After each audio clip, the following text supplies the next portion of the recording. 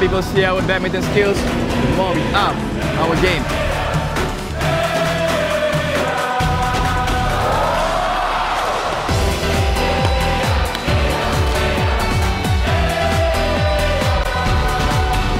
This is how you Up our game. Up your game!